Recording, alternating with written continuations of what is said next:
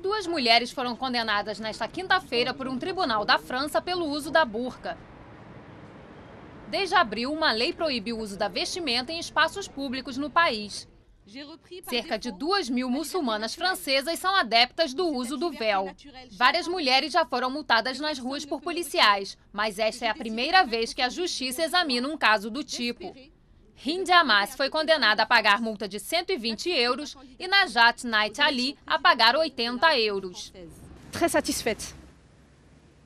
Estou muito satisfeita. Vamos agora recorrer à Corte Europeia dos Direitos Humanos para que esta lei seja revogada. Ela é ilegal.